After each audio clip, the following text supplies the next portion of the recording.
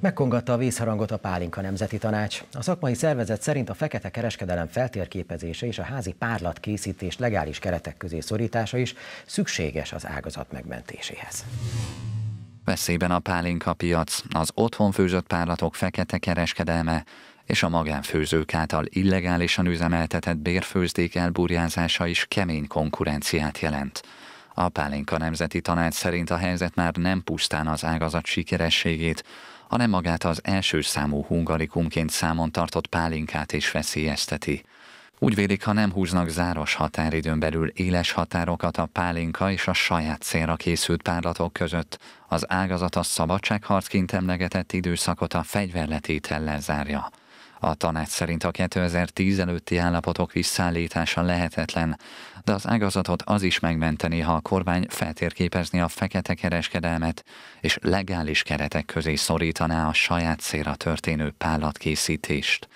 A jelenlegi jogszabályok ugyanis nem csak lehetővé teszik, szinte ösztönzik is az illegális kereskedelmet, azzal, hogy legális keretek között lehet a fogyasztási igényeknél sokkal több pállatot előállítani.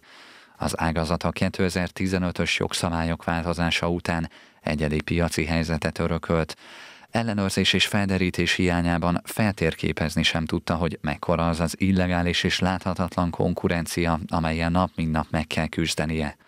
Azóta szinte stagnál a pálinka forgalma, a bejelentett bérfőzdéké pedig csökkent, miközben az alkoholfogyasztás hazánkban folyamatosan nő.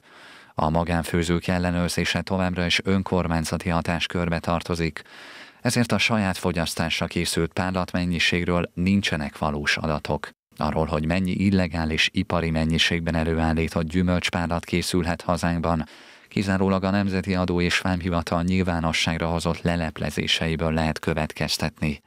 A Pálinka Nemzeti Tanács kész megoldásokat javasolni a problémákra, és minden olyan együttműködésre nyitott az illetékes minisztériumokkal, amelyel esetleg megmenthető a pálinka. Vendég a stúdióban Lakatos Tibor, a Szatmárberegi Lovagrend tagja. Jó napot kívánok, üdvözlöm. Kívánok. Hát ennek azért vannak előzményei, ugye? Akkor arra kérem önt, hogy vázoljuk fel. Tehát 2010-ig vezethető vissza ez a dolog. Valóban a pánika törvényi liberalizáció a 2010. szeptember 27-én lépett életbe.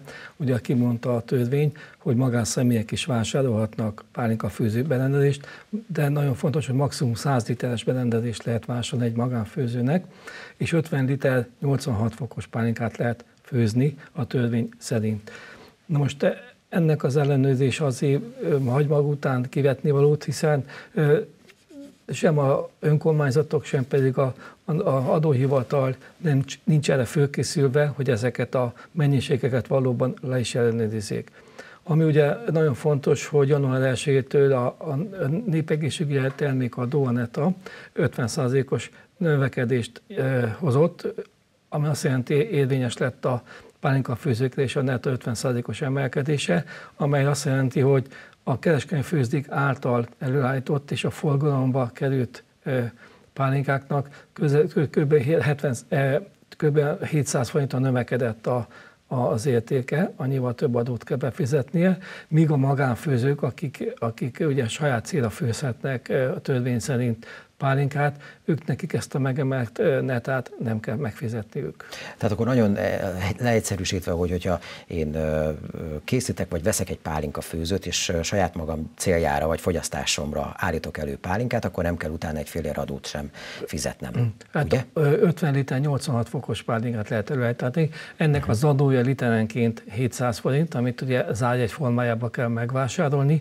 Tehát ha 50 liter 86 fokos pálinkát főzünk, akkor 35 ezer forint az adója mindössze össze. Saját fogyasztása is? Ez csak saját fogyasztása lehet. Saját fogyasztása igen. is, és ez még így is olcsóbb, mint hogy, hogyha? Hát nyilván, nyilván hiszen itt nincs a, a a jövedékíró, nincs a bérfőzdési díj, nincs áfa, tehát lényegesen alacsonyabb, és tulajdonképpen ez, ez, ezzel veszélyezteti most a kereskedőfőzdéknek a, a jövőjét, akik ugye nagyon félnek a magánfőzdéknek a elterjedéséről, illetve a, a, a megengedetten túli főzés mennyiségétől. Uh-huh. Mi jelent itt a fő problémát, mi a, a buktatója az egész történetnek? Hol vannak a, a, a, a, az átjátszási pontok, ahol... ahol... nincsen szabályozva igazából a pálinka készítése a magánszemélyeknél, csak mondok egy példát, mai világban egy pálinka főzőnek akár 100 tulajdonosa is lehet, tehát 150 liter, 50-80 fokost is főzhetnek, és igazából ezt, ezt, ezt kellene szabályozni. Másik szabályozási lehetőség, ami Ausztriában működik, hogy ugyan, mint a nagy főzdéknél, a magánfőzdő berendezéseknél is átfolyásmérőt kellene felszerelni, ami alapján ugye az adóhivatal tudna ellenőrizni a lefőzött mennyiséget. Mhm, itt, hogyha jól tudom, akkor a szerbeknek is van javaslatuk ezzel igen, igen, a napokban járt meg az, hogy a szerbek egy javaslatot tettek az Unió felé, hogy a magánfőzdők, aki most ugye nem fizetnek netát, illetve az 50%-ot fizették be ez a jövedékadóval, a 700 forinttal, azt is töröljék el, és ennek a, ezt támogatta a magyar kormány és az Unió felé, hogy gyakorlatilag teljesen adómentes és ingyenes legyen a pálinka főzést. Hát ezt nyilván a Nemzeti Pálinka nem tanács sem fogja támogatni, de azt, azt gondolom, hogy a minőségi pálinka fogyasztásot is ez elengedhetetlen, hogy szigorítani kellene a magánfőzéknek a ellenőrzését. Még milyen plusz szabályozókat kellene beépíteni ön szerint, önök szerint? ellenőrizni a minőséget a pálinkának, hiszen most semmiféle magánfőzött pálinkának nincs minőségi ellenőrzése. Igaz, hogy ezt csak magánszemélyként lehet fogyasztani ezt a, a pálinkát, de azt gondolom, hogy a, az önbevallás és a szabályozás, tehát hogy, hogy bejelenteni a főzőberendezéseket, ez mindenképpen szükséges lenne.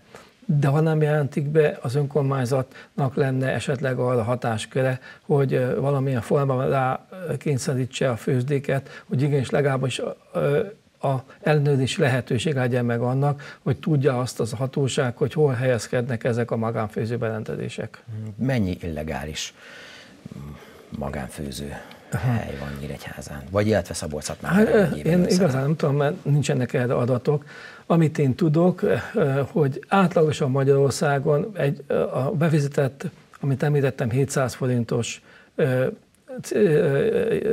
jegyvásárlás mindössze átlagosan 5000 forint, amit említettem, 35 ezer forintot lehetne, de az átlagosan befizetett adó a, a, a vásárlás kapcsán mindössze 5000 forint. Tehát azt hiszem ezt a számokat is érzékelteti, aki bevallja, még az is csak egy hetedét fizeti be. Tehát illendőségből bevallanak igen, valamennyit. Igen, igen illendőségből vallanak valamennyit, igen. Köszönjük Valóban. szépen, hogy itt volt nálunk. Én is köszönöm.